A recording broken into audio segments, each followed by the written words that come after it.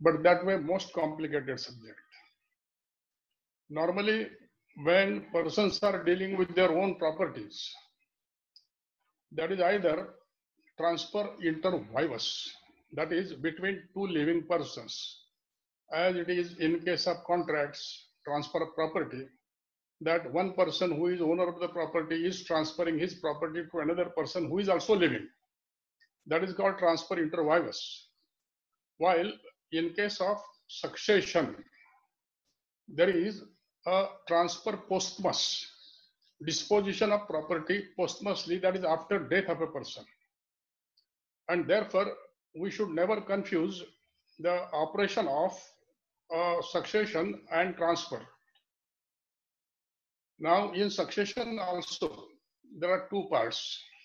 One is when it is succession to the estate of a person who has not indicated any of his wishes or wills. That is called intestate succession. And in that case, today also, in India at least, Muslims have got their own intestate rules of inheritance. Hindus have got their own intestate laws, that is Hindu Succession Act 1956, and the textual, customary, the law of families and coparcenaries. The Christians, Parsis, they have also got different rules for intestate succession. While testamentary succession is other part of succession. And in case of testamentary succession, it is succession, that is to say, disposal of the property of a person who is dead. The property going to the living persons, that is according to his will, wish, last will of that person. And that will, when it is written, it is called a testament. And a succession which takes place under testament is testamentary succession. Testamentary succession should not be con uh, confused with transfer of property. Or for youngsters, just to note properly, that in 2001, before Kerala High Court, there was a question where there was some dispute in which the plaintiff had got some orders of status quo dispute regarding properties. And while status quo was in operation the one of the parties to that suit had disposed of the property by his will. And now action was sought to be taken claiming that this making of the will is violation of the status quo the other side said no the status quo is for transfer by act of parties. While here is no such thing, it is disposal by the will. And when it was before the Karnataka High Court, the single judge came to a conclusion. And for the youngster, they should note properly that in Transfer of Property Act, definition of transfer is when a living person in present or in future transfers his property to another living person. That is inter vivos. But the words used are transfers his property in present or in future. The single judge of the High Court confused these words and came to a conclusion that this means property can be transferred in future also. Therefore, even such type of wills will be covered and hence what was done by the testator by will is violation of that particular order of status quo. When the matter came before the division bench, the division bench said here is a basic distinction between transfers inter vivos and the posthumous transfers. We will not call those transports, we will call those disposition of property. Under posthumous disposal, when a will is made, a testamentary succession is there. The rule is will starts speaking only when testator stops speaking. So unless the testator is dead, there is no will. Even if he has made a will and even if it may be registered, it is a proposed will, intended will. But unless he dies leaving it behind, there will be no will. And therefore, here by act of parties, nothing has happened. And if that is so, then this disposition cannot be equated with transfer. It has not violated that order of status quo. It is a different thing. Once we understand this, now proceeding with the will, there are deeds and deeds, or you people are concerned with drafting of deeds, instruments. The deeds are of two types basically. It may be a multilateral deed or it may be a single party deed. A multilateral deed is known as indenture. Say transfer inter vivos, that is sale, mortgage, lease. These are the multilateral deeds, indentures, and those are normally drafted in third person. The vendor hereby transfers, etc. While in case of a will, it is a deed poll, P-O-L-L. A deed poll is a single party deed. There is no other party to that particular document. And therefore, such deeds poll are drafted normally in first person.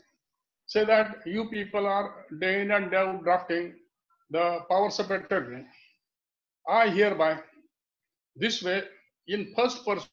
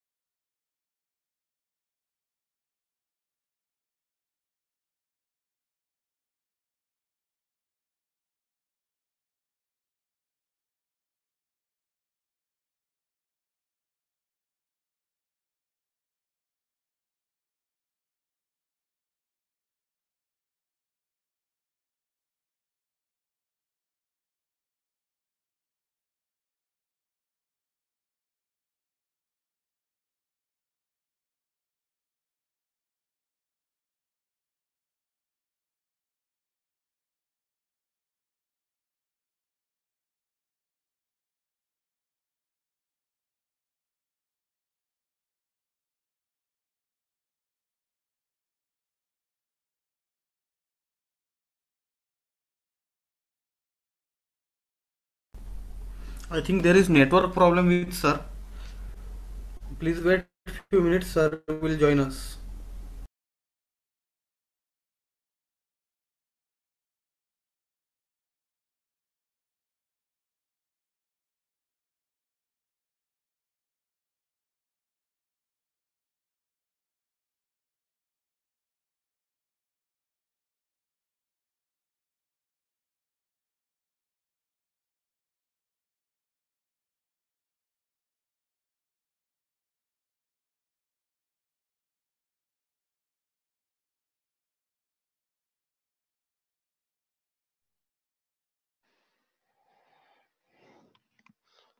Uh, participants, we are, we are facing some technical issues. Kindly be patient.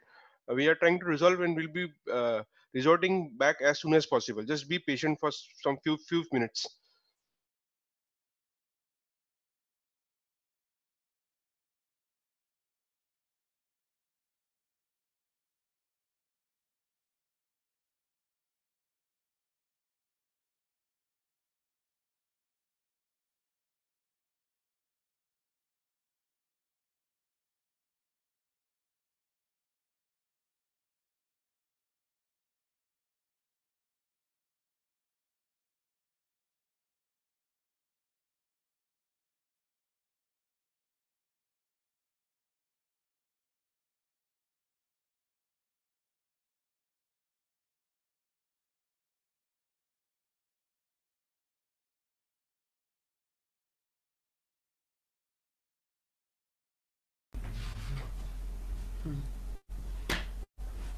Participant please don't start your videos keep your videos shut down sir will join us and will proceed with lecture within few minutes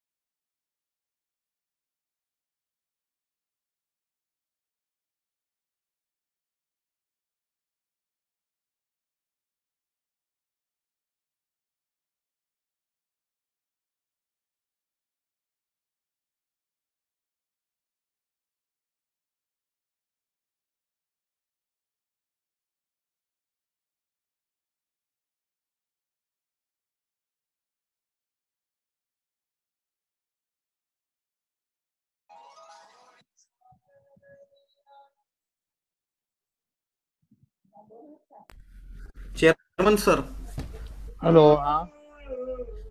आवाज sir join होत आहेत. एक take पाच मिनिटात technical problem आहे.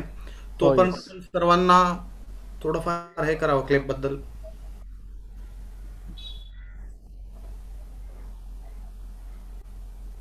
Chairman sir yes yes एक yes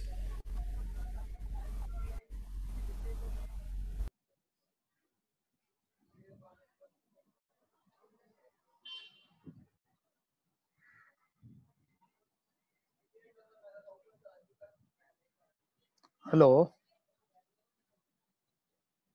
hello. हा sir. Hello. हा सर बोला सर. येते आवाज आपला. आपल्या सर्वांना माहिती आहे की बार काउन्सिल तर्फे CLEP program continuous legal education program हे दोन हजार दहा पासून जवळजवळ दोन हजार दहा पासून हे चालू केलेले आहे. आणि लॉकडाऊनच्या पूर्वी प्रत्येक तालुक्याच्या ठिकाणी जिल्ह्याच्या ठिकाणी जिथे जिथे आपले मेंबर बार काउन्सिलचे मेंबर ज्या असोसिएशनच्या थ्रू वेळोवेळी असे क्लिप प्रोग्राम आयोजित केले. आता असा CLEP program last CLEP program bar council तर्फे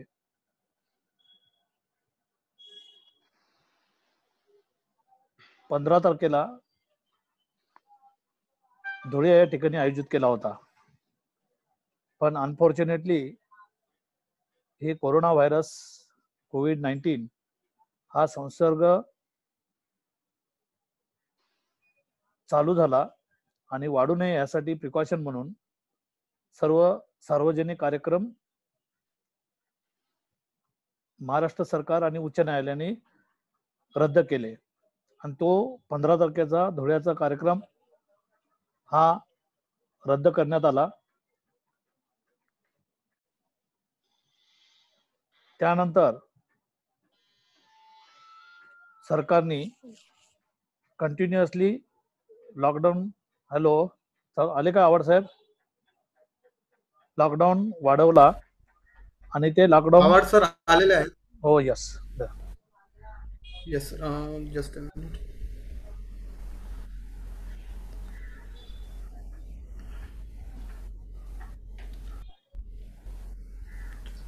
Hello. Can yes, sir. Hello. Uh, please start. Hello. Hello. Can you hear me? Ah, yes. Yes, sir. Yes. Yeah, yeah. So to proceed with the subject, there was some internet disconnection and therefore some problem. The last thing we were discussing was the kinds of deeds, that is to say, the indentures, that is multilateral deeds, and the deeds poll, unilateral deeds. A will is a deed poll, and deed poll being a unilateral deed, one party deed, is drafted in always first person. That I so and so do hereby make this my will, etc. Now, in case of wills, The will, who can make and how can make is the problem. To answer this, so far Hindus are concerned, in old Hindu law, there were no specific provisions for making will. Because there was that coparcenary and joint family system, wherein the ownership was always vesting in the family that is coparcenary, commensality of interest, and therefore all that one could do is expressing his wish. And if it was respected by others, that was all right, but particular rules were not there.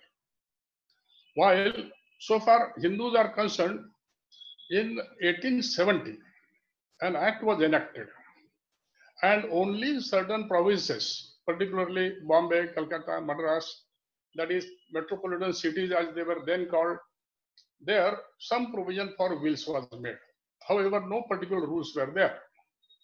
While amongst English Christians and Muslims, the provision for will was always there. In Muslim law, always it can be traced to 12th century, when in 12th century, the Hidayah, that provided for rules of wills that could be made by Muslims, Mohammedans. While during Aurangzeb's reign, there was Fatwa Alamgiri. This further laid down the rules for Mohammedan wills. The rest of the provisions, those were there. In 1925, the Indian Succession Act was enacted. And under this act, the succession for others than Hindus, Muslims, it was together, and for all others, the Succession Act was applicable. While in Succession Act, the Hindu Succession India Hindu Succession Act 1956 till it was enacted. Indian Succession Act 1995 was not applicable to Hindus. And therefore, today also you will find in Indian Succession Act, the beginning itself says applicability of the act, scope and extent, that this does not apply to Muslims or Hindus. Now, in 1956, when the four basic laws of Hindus were enacted, that is in 55 Hindu Marriage Act, in 56 the Hindu Succession Act, Hindu Minority Guardianship Act, Hindu Maintenance Adoption Act. In all these acts, the definition of Hindu is to be seen. And that definition says that a Hindu means all those persons who are Jains, Buddhists, Sikhs, Vaishnavas, Lingayats, and all other sects of Hindus. Therefore, though Indian Succession Act 1925 says that this does not apply to Hindus, Jains, Buddhists, Sikhs, because now in the definition of Hindus since 1956, all these are included in Hindu.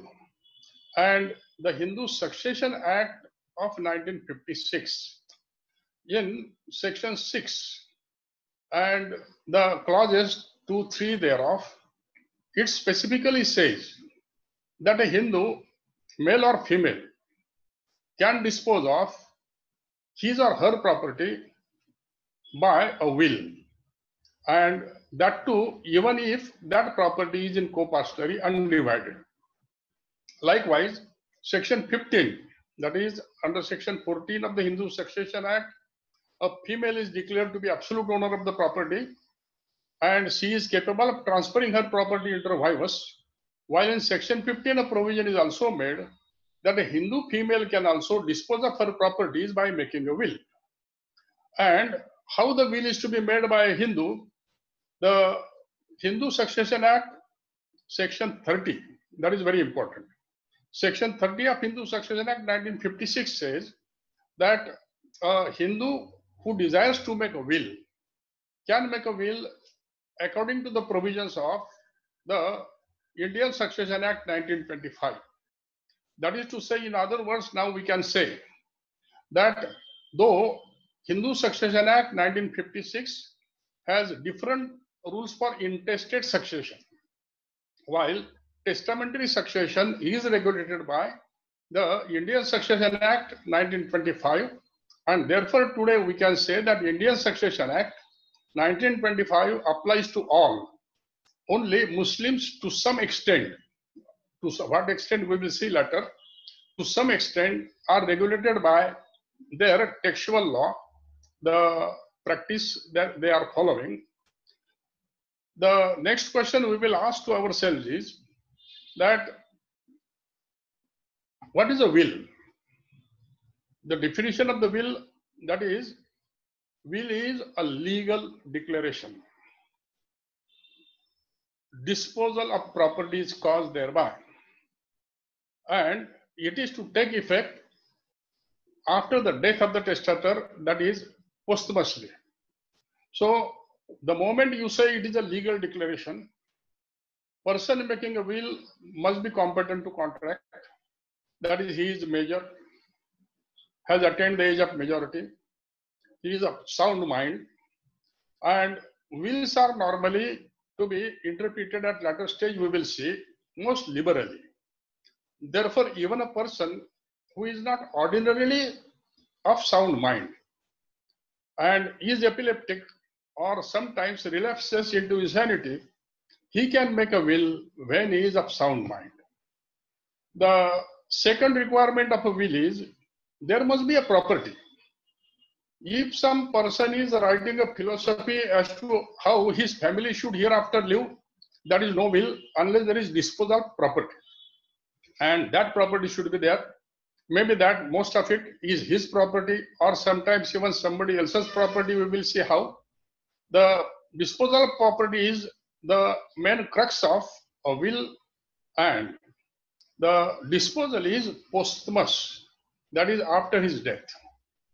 Now, because of this, a will is to be distinguished from other disposals of property, and in a will, certain terms are always used. That in a will, there is no transferor, there is a testator, that is person who makes the will. Then there are legatees, that is the persons to whom the property is given under the will, as in transfer transfer of property, we call a transfer. Here he is the legatee. And what is given, that bounty, in transfer of property, we call it a gift. Here it is a legacy. And a testator confers a legacy upon a legatee, which is to take effect after his death. So long he is living, there is no will, it is a proposed will only. Now, in these wills, the testator may also make a provision that when he is dead and gone, the will shall be executed by some person in whom the testator has got trust and faith. So, when such administrator is appointed, he is called an executor. So, when testator himself in his will, by making a specific provision, has appointed a certain person to execute his will after his death, that executor represents the testator in executing the will. The executor may apply to the court and ask for uh, authority that is what is technically called a probate. So when executor applies for a probate, the court will make inquiry and certify the copy of the will and that certified copy of the will together is called a probate. The other term which is normally and usually used in testamentary succession is a codicil. A codicil is a supplement of a will. That is to say, suppose that a will is a long will, testator has so many properties, so many relations here, and he has made all those things. And subsequently, he acquires some property, or he loses some property, or some new members in the family are there, or some are gone. That is, circumstances have changed. Then, in changed circumstances, the testator may supplement the will by a codicil. So the whole will stands subject to this correction, subject to this alteration. And another quality of a will is, uh, the codicil is, that codicil can also subrogate the will. That is to say, cancel the will, nullify the will. So, a codicil being a supplement is always to be read with the will. Date of will and date of codicil together is date of death of testator, not the date when the will is made. The another question is that wills, when those are made, how they should be made? Normally, a will is required to be in writing. So far, Indian Succession Act 1925 is concerned. We are not considering at the moment the Mohammedan wills. A will must be in writing that must be attested, executed. Now, writing understood that it is put on some paper. The second thing is execution. Will is to be executed by the testator. To execute a will is with intention to make the will, to put his signature or sign. Sign may be thumb impression, or in some olden documents, we have seen the senior lawyers will be uh, knowing that sometimes the persons who could not write just put a tick or a cross and say that this is the sign. But when subsequently the people became smarter and could say this is not his sign, therefore the practice of taking thumb impression started. So some sign, thumb is also a sign. That sign of the testator. But suppose that a testator has met an accident. Both his hands are fractured and he is lying in the hospital. Now he is not in a position even to sign, to put his mark, thumb. Then he may authorize some person on his behalf to sign the will. And this authority by evidence can be established, that is the requirement. Now, authorized person can also sign the will. Another requirement of a will is once it is executed, it must be attested. And now let us understand the definition of attestation properly. Attestation requires at least two witnesses. More than two will do. These two witnesses, each of whom has seen the testator signing the will or affixing his mark, or the testator has authorized a person to sign the will, and if the testator has signed in their absence, and then the witnesses are called, they have received personal acknowledgement from the testator that he has signed the will, or his authorized person has signed the will, and then the attesting witnesses sign in presence of testator. Here, a proposition to be remembered properly is that attesting witnesses must sign in presence of testator. It is not necessary that testator should sign in presence of attesting witnesses. If he has signed before, he can give personal acknowledgement. It is also not necessary that both the witnesses or all the witnesses should sign in presence of each other. That is to say, each witness must sign in presence of testator. There should be at least two witnesses and then will is a legal declaration. While there is another form of will or will may be an unprivileged will. That is what we were talking about. There can be a privileged will, there is, which is quite important part. Suppose that there are army men, persons in army, airmen, persons in air force, sailors, the mariners, and all persons who are on expedition, and maybe doctors, maybe other staff, they do not have now time to make wills.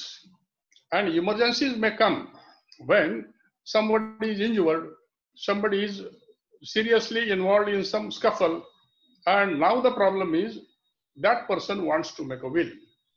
For such persons, a provision is made what is known as a privileged will. Privilege is a special concession, a special authority.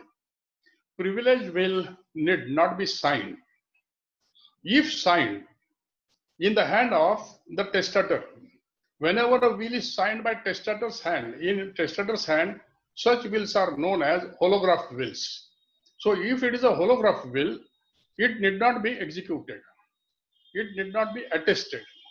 Or sometimes, if the will is just spoken to some authoritative person, that is say, uh, army man may be injured and to his superior or to a doctor, he tells that his property should go in a particular way. That is also a will, a privileged will, which need not be written. If written, need not be signed. If signed, may, may not be attested. And even if it is oral, it will do. Of course, such wills in due course are to be replaced by regular wills. Now, in wills, another important thing to be remembered is that how a will can be revoked. Suppose that testator changes his mind. Here again, the transfers inter vivos, that is transfer of property. Suppose that a owner makes first transfer today, second transfer tomorrow, third transfer day after tomorrow of the same property to different persons. Rule of law is that first transfer only is valid. Because the moment he transferred the property, he had no more title to the property, and therefore, under the rule of nemo dat quod non habet, he could not give any property subsequently. So only first transfer is valid. While in case of will, if testator has time, property, and intentions, he can go on making will every day. Any number of wills can be written. And when he is dead, an inventory will be taken and found out how many wills he had made. And last will is the only will. So a will can be revoked by making another will. Though other will does not say, I revoke my previous will. Normally will say, I so and so do hereby revoke all my earlier wills and declare this to be my last will. But in fact, which is last will that is to be seen. Or in some cases, it may happen that he just writes a codicil. And by that supplement, by that codicil, he declared that I have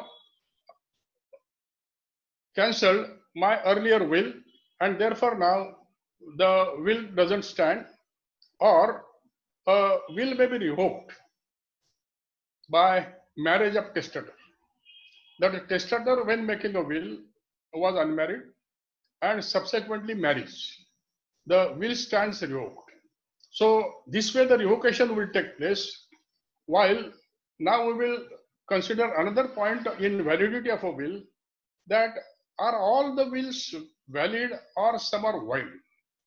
Because now there is no testator to say in the court that this was not my wish, this was not my will, somebody had just influenced me, and therefore law takes care to see that it is his free will, that he desired it and accordingly it went on. Therefore, that testator he was talking and somebody was writing and what is written the testator could not or did not have capacity to read and verify and he was told that the will reads as he, as he has dictated or said. Such type of a thing is fraud. When there is a fraud and fraud is proved will is revoked void. Or when there is coercion that wills are always amongst close relations. And in close relations somebody is excluded. If somebody is excluded, that somebody may have grudge and grievance, and there is a coercion. The under coercion, the testator is signed, will is wide or there is a peculiar word used in the Succession Act. There is importunity, importunity uh, against opportunity, different thing. That here not strictly undue influence, but suppose that a very near relation of testator in the hospital is sitting next to the testator, and when testator is trying to dispose of the property, he just making a sign to himself and looking at the testator with some gaze. The testator may be influenced to give something to this man, even if testator doesn't wish. Such type of thing is called influence is called importunity. If that was there, then also will is revoked. Now, will is valid, but whatever is given to the legatee by way of legacy is called a bequest. Though will is valid, all the bequests may not be valid. Some bequests may be void. So next detail of our discussion is void bequests. A bequest is void if it is made to an attesting witness. Just see the object behind this that the person who is executor or attesting witness, these are the persons who are ultimately going to show that whether testator was having, making the will with his free will and was his own free agent and therefore to make them disinterested in the property the provision is if any property is given any bequest is made to an attesting witness it is void or a bequest is made to the spouse of the attesting witness, that is also void. That is to say, attesting witness male to him or to his wife, attesting witness is a female to her or to her husband, a bequest cannot be made, though made, it is not valid. Secondly, a bequest made to the executor. Because the executor is the person who is going to represent legally the testator after his death. And therefore he also should be disinterested person in the properties of the testator therefore if any bequest is made to him that is also void the other void bequest and this is more important part that certain bequests are made which are uncertain in nature. That exactly what is done, what is said, how it is said is not certain. That some gap is left. And suppose that a testator says, I hereby bequest a sum of rupees and amount is not written. Or a testator says, I hereby grant 10,000 rupees to, and the name of the legatee is not written. Such bequests are void. Likewise, a bequest made to an unborn person is also void. You must give bequest to a living person. The proposition of law, not only succession, but also all the transfers that vesting of the property should never be in abeyance. That is, property must immediately.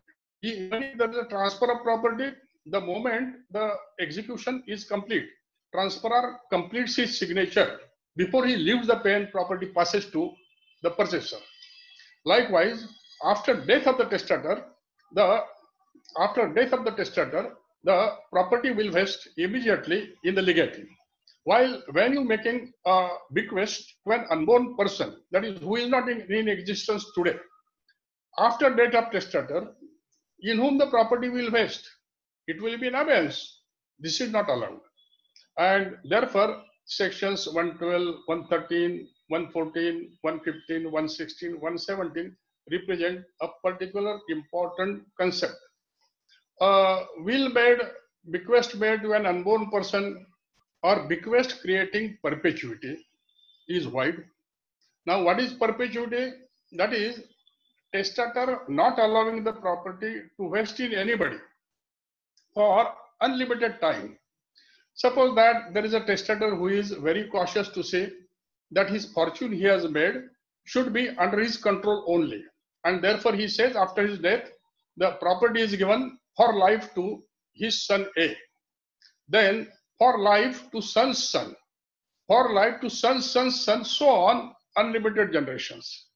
So after two or three generations, if somebody were in need of selling the property, renovating the property, changing the property, they did not have, do not, do not have capacity to do that. If inquiry is made, why you do not have capacity? Oh, that my grandfather, great grandfather, great great grandfather, he was so cautious that he has not given us power. Where is that great great great grandfather?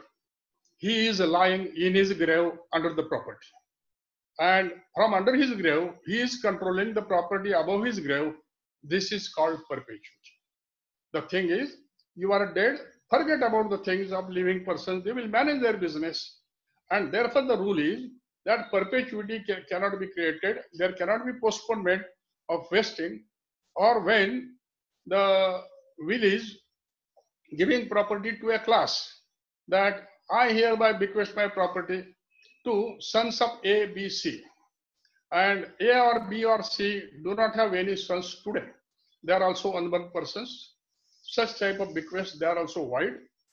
Or a bequest made to some religious purpose or bequest made to some charity. The rule is such bequest must be made, the will must be made at least one year before the death of testator. And will must be deposited with authorities within six months of execution, and then only such type of bequest they will be void, valid. While some bequests are conditional bequests, as you people have already studied. Condition means some requirement that is to be fulfilled for getting the property. These conditions basically may be a condition precedent or a condition subsequent. A condition precedent is that which is to be fulfilled before claiming the legacy. While condition subsequent is that which can divest the legacy. If a condition precedent is impossible, and one example is given in Succession Act, that a legacy is given to A with a condition that he must within eight days walk at a time at a speed of 100 miles per hour. One cannot do that. Therefore, it is impossible. If it is impossible, it's void. the bequest is void. Or if a condition is immoral or illegal, that a bequest is made to a woman if she divorces her husband. This is immoral, and therefore this bequest is also void. Or a bequest is made to A, provided that he kills Z. Bequest is void. While the condition subsequent, if condition subsequent is illegal, immoral, unreasonable, bequest is valid, condition is void. So the bequest made to A and condition is that if she does not divorce her husband within one year, the bequest will be going to be. She need not divorce because that condition itself is illegal, immoral, uncertain, then it is void. Now, all these conditions, if they are performed properly, then the bequests are given. Here, next detail, let's discuss it this way, that what are the kinds of bequests? That bequests may be making specific, specific mentions of the properties or bequest may be made in generic sense or some bequest may be demonstrative. So this specific bequest, that is a defined property is given. A testator owns a plot of land bearing plot number 101. And he says, I give plot number 101 on so and so road in so and so city to so and so. This is specific bequest. While if the testator says, I give 10,000 rupees to X. Now, this is just a demonstrative. 10,000, which 10,000 is not certain. Any 10,000 rupees from his assets can be given. There can be alternative bequest also, which says, I hereby bequest my house to A. And if A is not then living, then to B. This is also valid. Or there can be joint bequests. Say a bequest is made, I hereby grant my house to B and C. They take together. But suppose that before testator's death, one of them is dead. B is dead. C will take. Because every bequest, every legacy, though on the date of making the will that legatee was living, if the legatee dies before the testator, the legacy is always lost. That is called ademption of legacy. That is by death of the legatee. While in demonstrative legacies, the source is demonstrated. If it is said that out of my money in so and so bank, 10,000 rupees should be given to Z, he will get out of that bank deposit.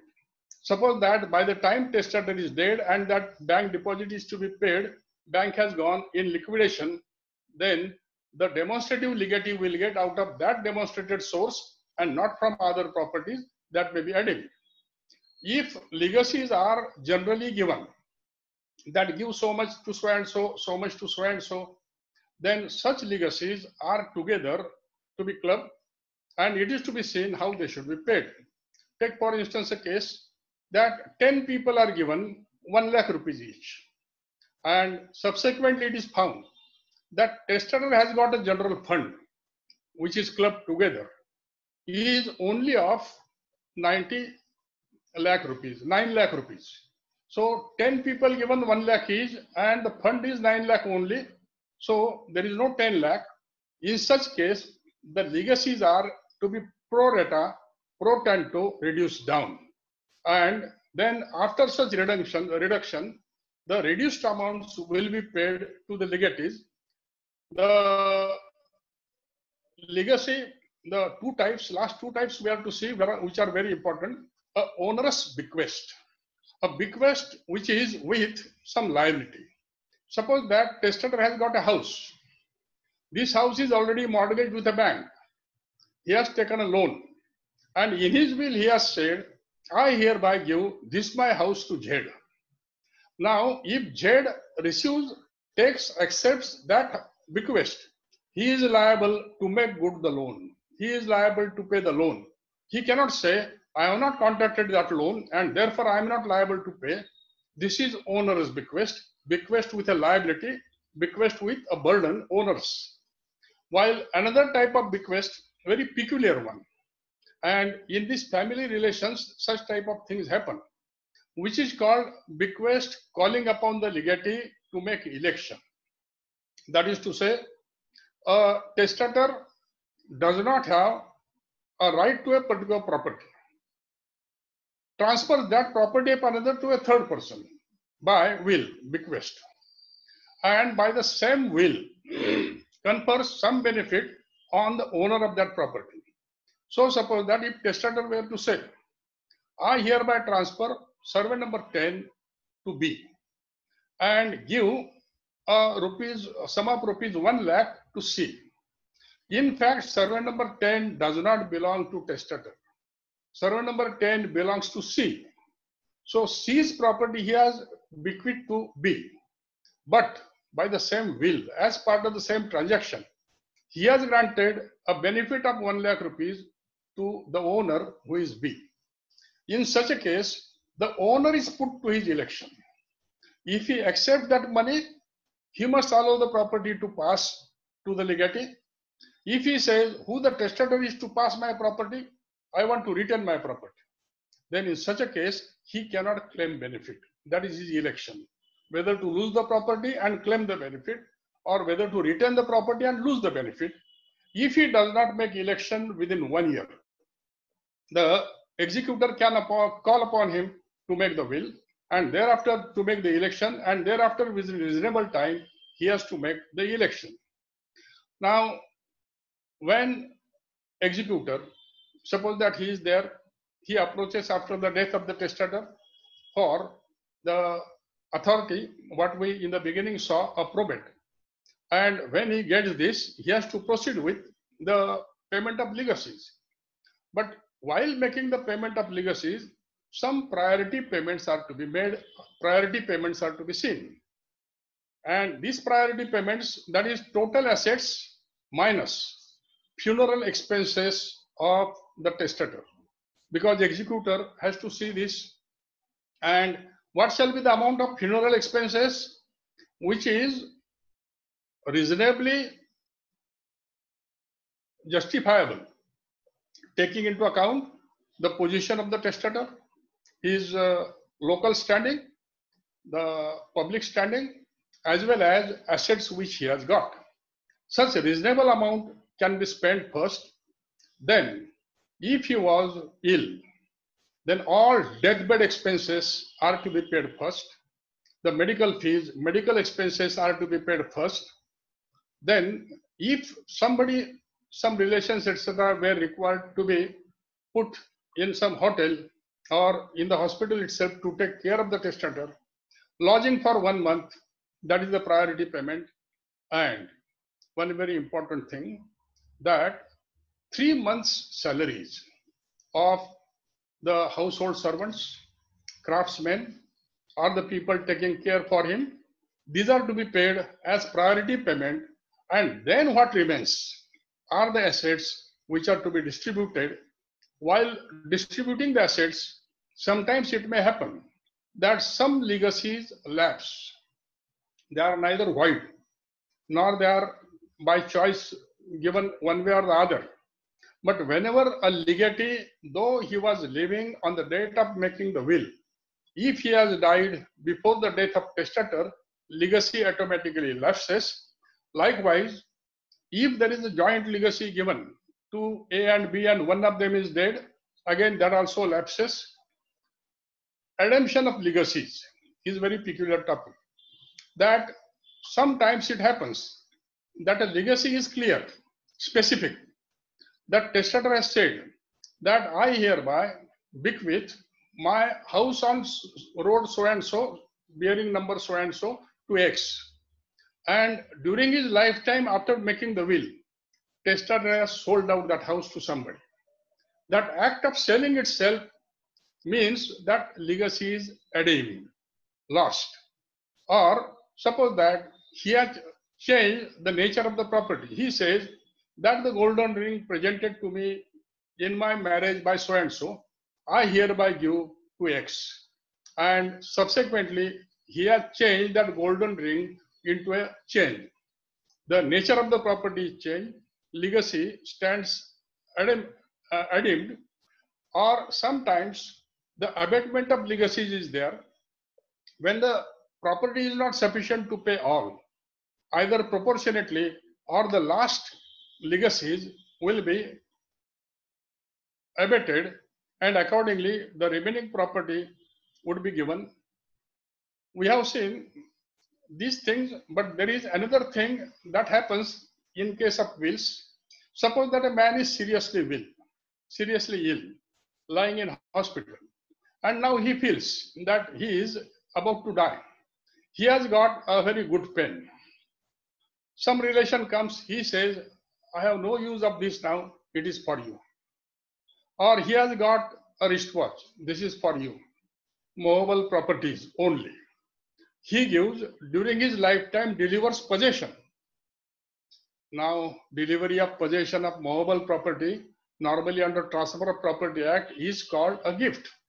Gift is inter vivos, and the moment it is delivered, the vesting of the title is there. However, these gifts are made by the testator on deathbed. So it is called the donatio mortis causa. Gifts in contemplation of death or deathbed gifts. And speciality of this gifts is that a gift is valid only if testator dies of that ailment. If testator recovers, next day he will call all these donors and say, I need my wristwatch now. I need my pen now. So if testator recovers of that illness, gift is void. If testator dies of that illness, gift is absolute, gift is valid. Another important thing to be seen is executor is there in whom the property is properly vesting. But suppose that there is no executor, there is no administrator, and some person intermeddles with the property unauthorizedly, just entering into the lands of the testator or dealing with the properties of the testator, he is called a executor de son tort. De son of his own tort wrong. So, a executor de son tort means a person who is not appointed as executor but intermeddles with the property of the testator unauthorizedly, then he is fixed with the duties of an executor. Or after the death of a person, every other person dealing with his property acts as a trustee for that deceased person. These are the executor de son tort. Another thing that comes in wills is suppose a testator has made a will and has not appointed an executor or executor was appointed but he dies before testator or the executor is not in a position to act. He himself is ill not legally competent. Or executor denies to act as executor. Then any interested person interested means those who can be either the legatees under the will or if there is no will who can get under the intestate succession. These persons may make an application to the court and normally court means district court makes application to the court and then court may appoint some competent person to operate the will execute the will. He is called an administrator. The letters of administration are given. Now when this is so ultimately because we have seen in our CLEP lecture today what was our subject? Making of wills and interpretation of wills. Now interpretation of will is a very delicate problem. Because we are dealing with a man who has, who has expressed his last wish that now he is not thinking anything for himself. He is thinking of the next world. And whatever properties he has got he is giving. This is not for a price. This is not a contract. This is not a transfer. This is just a benevolence that he is conferring on the other parties and therefore his wishes are respected and while interpreting wills we say transfer of properties the documents are, are to be interpreted strictly while in case of interpretation of wills, wills are interpreted liberally as far as possible to give the effect to the true intention of the testator. Or one very old rule is there for interpretation of rules that the armchair rule, the armchair rule, the judge shall sit in the armchair of the testator. That is to say, judge shall imagine himself or herself in the position of the testator and then try to find out what testator must be thinking. At this point, I will just call you back, remind you that we call it a testamentary succession.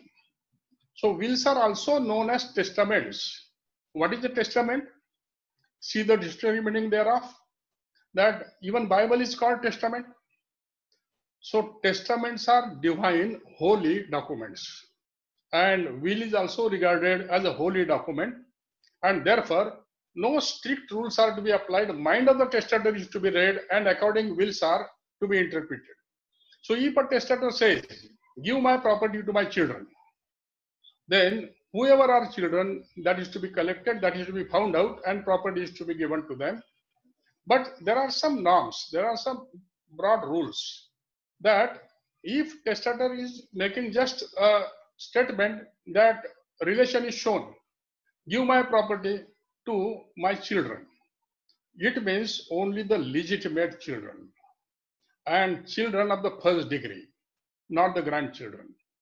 If he says, give my property to my children, and his children are illegitimate only, there are no legitimate children, then naturally what he meant is clear. Those illegitimate, it will go to them. This way, true intention of the testator is to be gathered and then the will are to be interpreted. The next proposition is that how about registration of the wills? In, in case of registration of the wills, normally, registration of the wills normally, a will need not be registered by a strict rule. According to the rule, will need not be registered. However, at the time of obtaining the probate or letters of administration, will will be put in the court. If there are objections to that, as if it was a suit, titles will be decided. But if testator is cautious and he wants to take precautions, then it is possible that testator may register the will under the Registration Act of 1908. Now, under the Registration Act, Section 17 of Registration Act deals with documents which are compulsorily registrable. That without registration, such documents are not valid. If you read the list of those documents under Section 17, will is not there. So will is not a compulsorily registrable instrument. While when you read Section 18 of the Registration Act, in Section 18, those are the optional registrable documents. The registration whereof is optional. And in that list, will is included.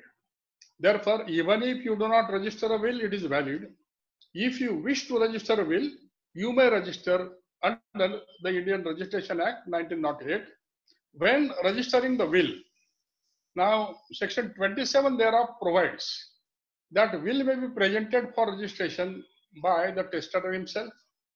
So testator going to the registrar presenting the will and will may be registered or by authorized person, power of attorney, etc. may present for registration.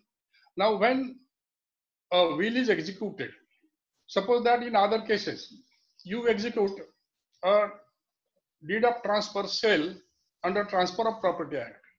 Rule of Registration Act is that a will or that document instrument which is registered executed must be presented for registration within three months of execution while this rule does not apply to wills will may be presented for registration at any time. Before death of testator it can be done. When it is registered the registration will be completed. Likewise more wills than one can be registered. As we have seen, testator can make any will and only last will is the valid will. The another proposition is there that sometimes the testator is facing some problems that his relations may be troublesome relations. And then he is afraid that if all these people know to whom the property is given, maybe that there are quarrels in my family today only or tomorrow only. And these people may, we will not allow me to live properly till my death. Then he may have a secret will. And how he can have a secret will and yet registered? The provision of Indian Registration Act is that a will may be just put in a envelope. Envelope may be sealed. And this sealed envelope will be presented for registration to the registrar of the documents. There are in registrar's office the boxes which are fireproof boxes. In such boxes with entries made in the registers, the will will be deposited, that envelope will be deposited. The testator may any time come and withdraw that envelope, entries will be made accordingly.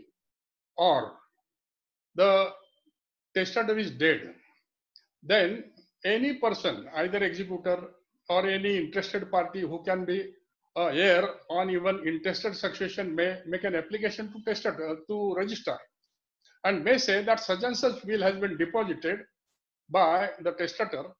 That will should be now open. The registrar will call upon such person that what is the proof that he is dead. The proof of death of testator will have to be given. Once this proof is given, then in presence of that applicant who had made the application, the registrar of the instruments will open the box, get the envelope, will open the envelope and the contents of the envelope that is the will, he will register as normally documents are registered and this way document may be registered, will may be registered. While the next thing now we want to discuss as the last part of our today's discussion. We have seen that today Hindu Succession, Indian Succession Act 1925 includes all the persons, including Hindus. And Hindus include Hindu, Jain, Buddhist, Sikhs and all panthas. So today, by and large, only the Muslim wills are not included under the Indian Succession Act 1925. What are the provisions for Muslim wills, Muslim testaments? The Muslim wills or Muslim testaments are governed right from 12th century authorities found that what is known as Hidayah, Hidayah, that is to say guide, this is of 12th century, that is 1200 AD. Then in Hidayah, provisions are made for will. A Muslim will is called a wasiyat. And the wasiyats can be made since then as per those rules. While during Aurangzeb's time, Fatwa Alamgiri, that is the orders of the Alamgir, maybe 350 years or so before uh, this date, that further rules of wills were given. Here, the rules shortly stated can be this way, that how the estate of the deceased is to be applied in Mohammedan wills. The very logical rules, which are analogous to the Indian Succession Act rules, or perhaps which may be borrowed from the Muslim rules also, that first the funeral expenses of the testator are to be deducted. Then the expenses, deathbed expenses are to be paid.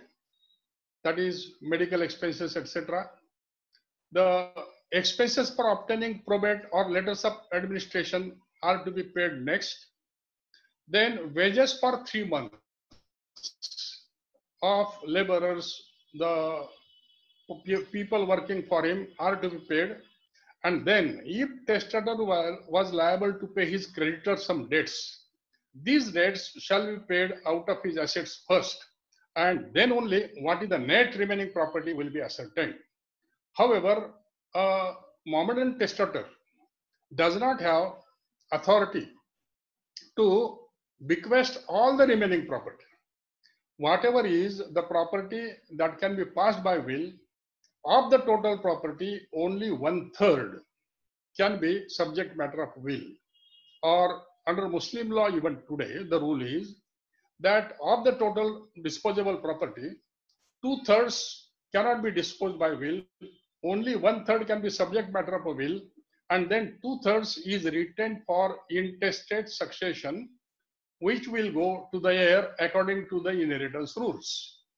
The wasiyat or the will, this wasiyat is executed by if the testator has named a person to execute it, he is called the executor in Muslim law is called the wasi, and this wasi will be executed. The Muslim will can be made. Who who can make if that is the question can be made by a Muslim. So the testator must be Muslim, professing Muslim religion. Then he must be of sound mind and he must not be minor. He must be major. Under old Muslim law, the age of majority was 15 years. While when the Indian Majority Act of 1875 was passed, in 1875 itself, that was made applicable to all. And therefore, since 1875, that rule of 15 years majority came to be modified and that was 18 years majority. And therefore today a muslim who is of sound mind and who has attained the age of majority 18 years and who has got the property he can make a will. Now this will in what form it shall be. Muslim law does not prescribe any particular form. It may be in any form it may be written it may not be written. If written, may be executed, signed. Even if it is not signed, nothing matter. It may be holograph will, or as in one of the cases, it happened that a Muslim had given instructions to his solicitor, to his lawyer, that he wants to make a will, and a particular house should be given to a particular person. And before that lawyer could draft the will and the testator could sign the will, testator was dead. The instructions given to the lawyer, the solicitor were approved, and it was said that this is a sufficient will and that legatee could get that particular property.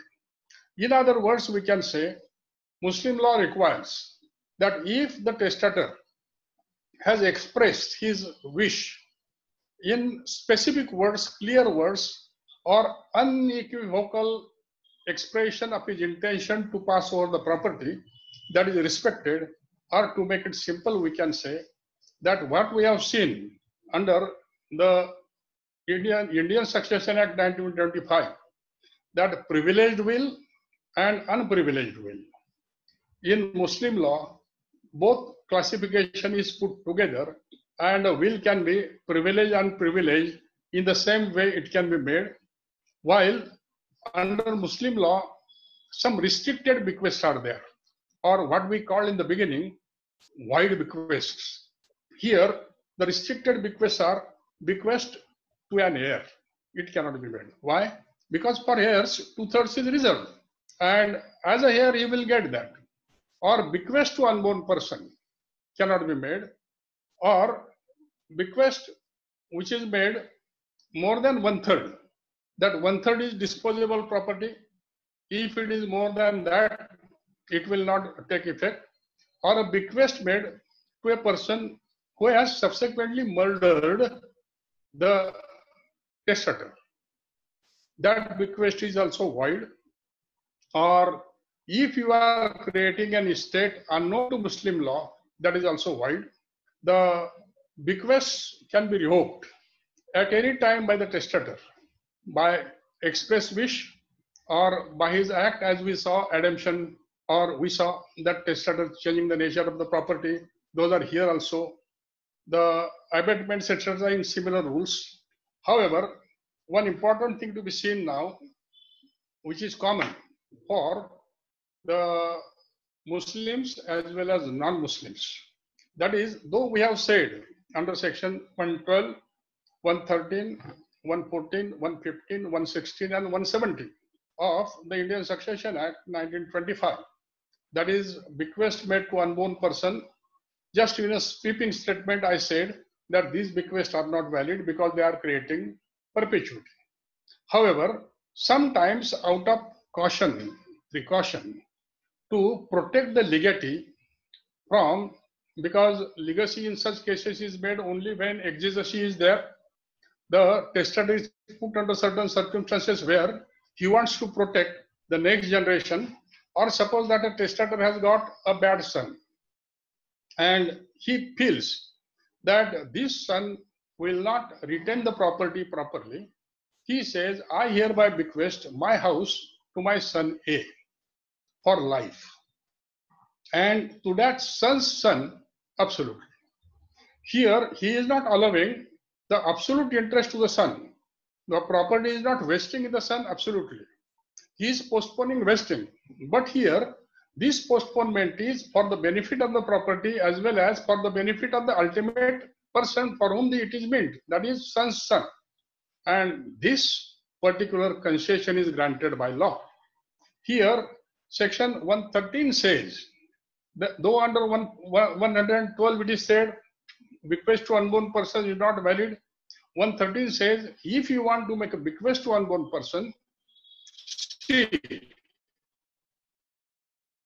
that first limited interest is created in favor of some living person. And then ultimately the interest is given to the unborn person, property that I hereby bequest my property to A for life and then to S son. This is valid. This is valid and in such case it can be given to son. However, 114 again will say perpetuity that how much you can postpone.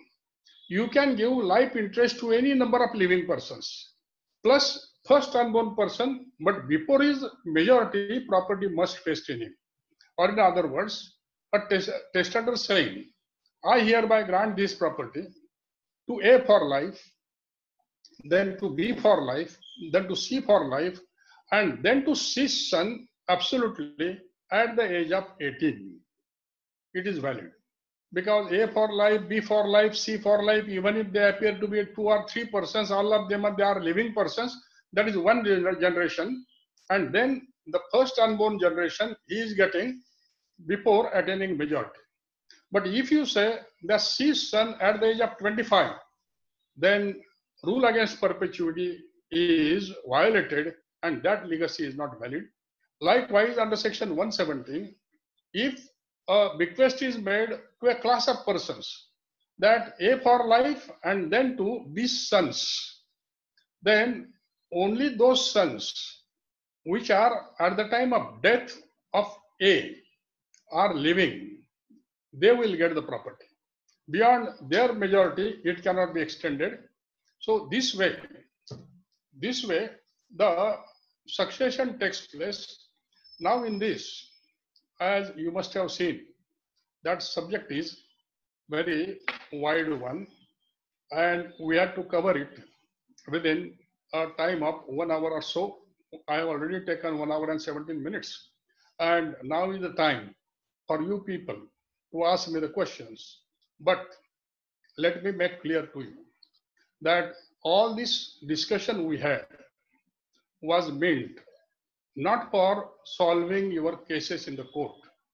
It was discussing the principles or jurisprudence of the subject, which is for your claim.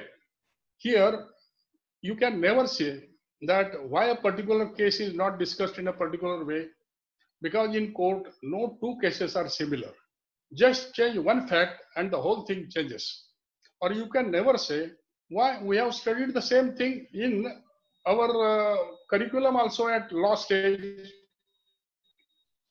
subjects do never change. The succession from 1925 is the same. Every day it will be the same. And only improvements are to be seen.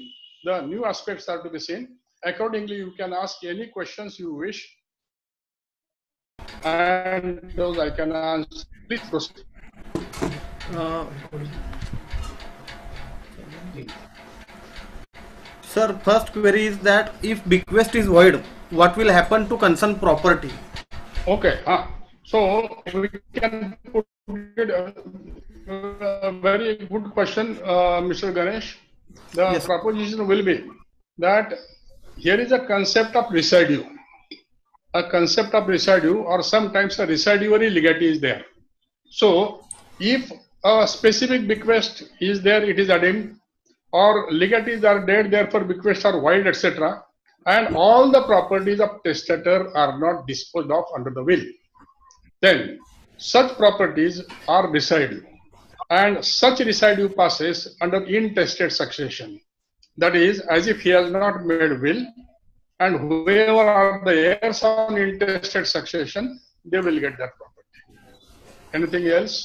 Uh, yes, sir. Uh, how the testator execute or authorize person to execute the will, whether by document or orally?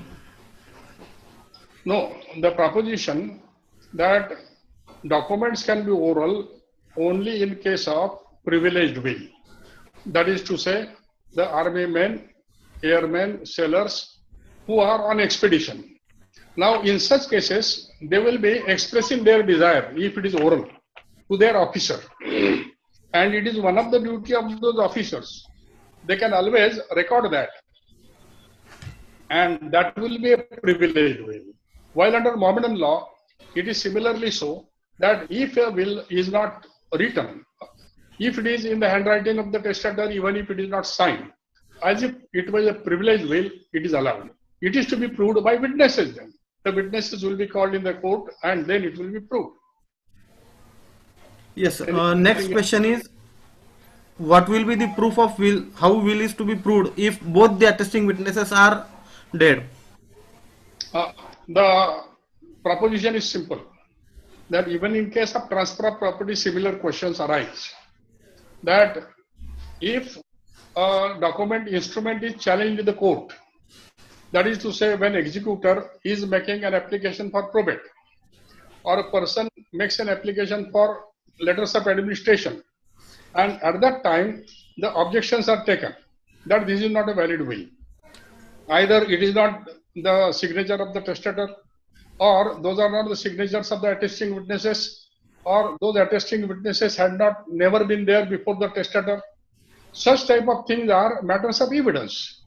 So in the court as if it was a suit it will be converted into a contested thing and then by recording evidence as we have seen evidence of documents the primary evidence secondary evidence and so on and according to that evidence it, it will be decided Yes. sir. any other Uh, question Uh, doctrine of election and estoppel relevance in will. Huh.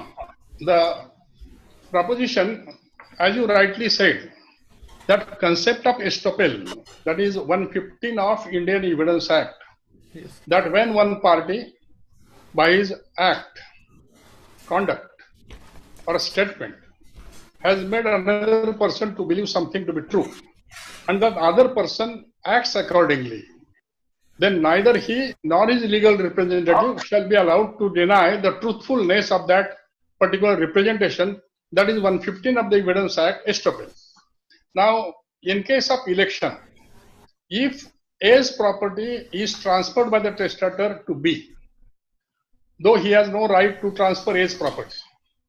And by the same will, as part of the same will, he has given some benefit to owner A.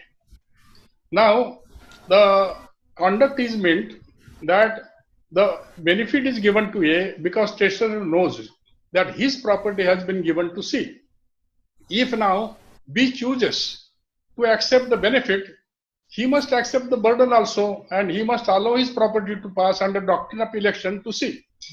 If he says, no, I want to retain my property, then in that case, the benefit will revert back to the testator and the disappointed legatee, C, who was to get the property, he will get the value of that property, compensated, it is said, value of that property or whatever the remainder is there, and this way the property is disposed of. Next, please. Another query is if prior will is registered and subsequent will is notarized, then which will will prevail? Now, the proposition that as lawyers, we have to understand very properly that in olden days, when we were beginners in law, that is now I am speaking about that beginning of my practice, that is 52 years back.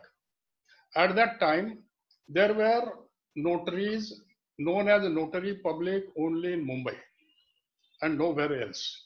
And that notaries, they were considered to be the most respected people. When exigencies of the time required, there are notaries, notaries, and notaries. A notary public or a magistrate certifying a document.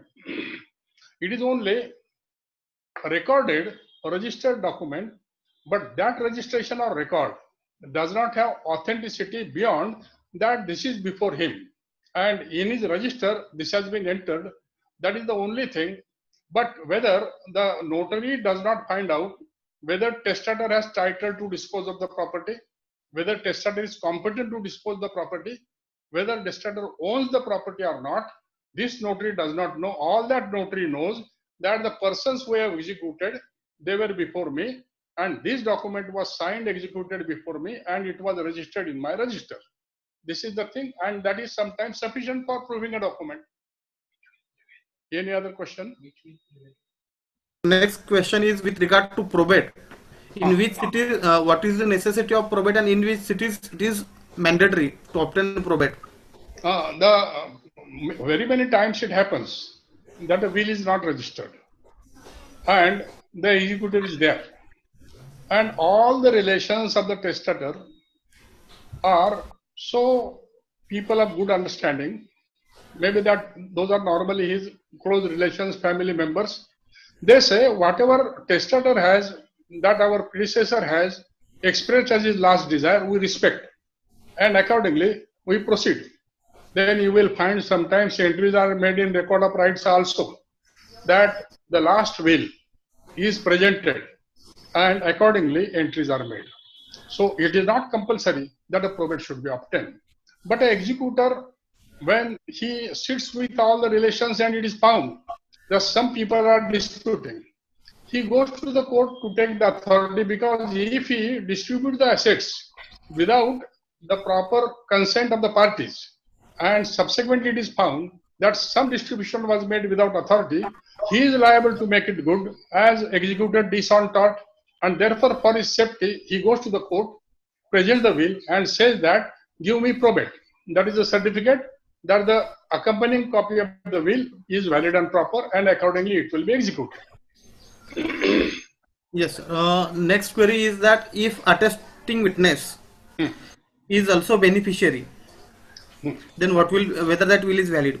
uh, the proposition, we have seen that the only thing, only persons who can say that will was made properly, there was no pressure, there was no coercion, that is the attesting witnesses. And therefore, if they themselves are interested in the will, some legacy is given to them, they are bound to say, yes, yes, that was proper, even if there is fraud, even if there is coercion and so on. And therefore, provision is made out in the Succession Act that any bequest made to an attesting witness is void. Bequest made to the spouse of the attesting witness is also void. So if attesting witness is a male, to him or to his wife, if attesting witness is a female, to her or to her husband, it cannot be made. Even if it is made, it is void, so that he does he or she does not have any interest in that, and therefore he is expected to speak the truth. Yes. Uh, Anything else? next question is uh, if Hindu is uh, म्हणजे एखाद्या हिंदू व्यक्तीला विलने शेतजमीन मिळाली तो स्वतः शेतकरी नाही अशा वेळी विलची अंमलबजावणी कशी करायची? Is there any bar under BTL act Hmm. Proposition is किंवा आपण मराठीत सांगू की बीटीएन ऍक्टचा तुमचा जो हा प्रश्न आहे हा आला सेक्शन त्रेसष्ट खालचा. बरोबर? Yes section sixty three says agricultural land can be transferred only to an agriculturist sixty three A थोडा वेळ आपण बाजूला ठेवू. इंडस्ट्री वगैरे टाउनशिप हे बाजूला ठेवू. इथे आता दोन प्रश्न येतील. ते who can make the will and who can take under the will suppose that you have raise the question under sixty three I will give you another question समजा ऑलरेडी तुमच्याकडे एक पंचावन्न एकर जमीन आहे. अँड ऑलरेडी सिलिंग ऍक्ट खाली तुमची enquiry चालू है एक एकर का काढून घेऊ नये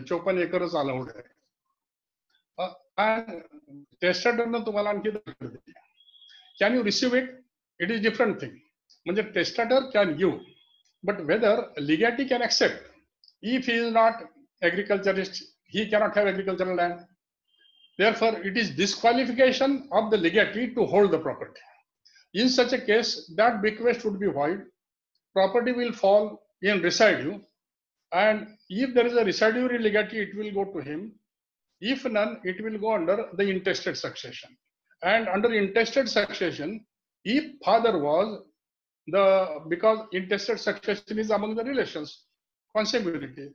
If that testator was entitled to retain the property, he was agriculturist, then his heirs also will be agriculturist. Thank you so much, sir. Uh, now, before uh, you thank me, let me thank you that this is a very good exercise you are doing and the opportunity given by you to me, I hope that it was uh, I had come up to your expectations and it was found useful by all of you. Thank you very much. Thank you so much, sir. Now I request Advocate Hemangi Patare, madam, to offer vote of thanks. Yes, Ganesh sir. On behalf of Bar Council of Maharashtra and Goa, I am taking this opportunity to express vote of thanks to our today's speaker, senior advocate and former chairman of Bar Council of Maharashtra and Goa, Advocate Shri Bhaskar Rao Avhad sir. Drafting and interpretation interpretation of wills itself has its own significance as it is related to testamentary disposition.